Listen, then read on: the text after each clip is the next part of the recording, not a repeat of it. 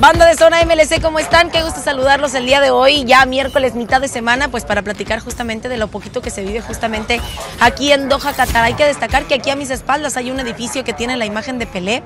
Ya salió precisamente parte del cuerpo médico que ha estado atendiendo la eh, situación y el estado de salud del rey y pues precisamente mencionaron que ha estado avanzando de manera favorable con su estado de salud. Eh, estaremos pendientes de lo que pueda pasar en los próximos días, pero por lo pronto esa es una noticia bastante buena y positiva.